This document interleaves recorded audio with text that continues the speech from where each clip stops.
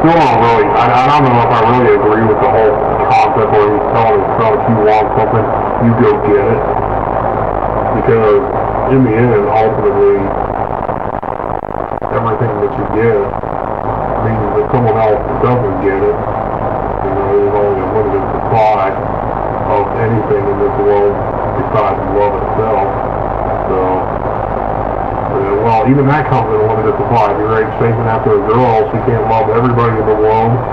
She's got to love this one guy. There is a limited supply of love, too, apparently. Uh, I guess it depends on what kind of love you're talking about, though. If it was just that platonic man boobs hug love, then I guess that wouldn't be so bad. bad.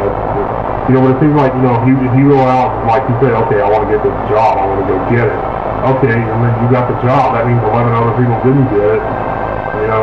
How do you know that your life is more harsh than any of those other 11 people? You don't know that.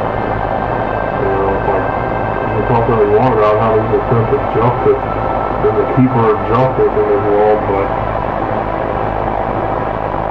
I just don't know. I don't know if I believe that or not.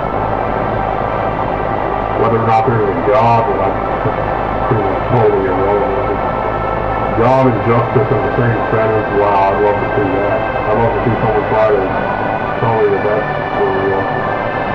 With all the children starving, apparently he thinks it's it to let them starve just to keep his precious covered.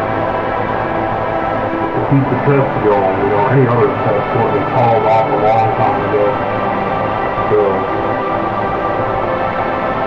you know, people rationalizing it with that. I just can't wait till 2012 comes and goes so they can finally see that they were wrong, you know.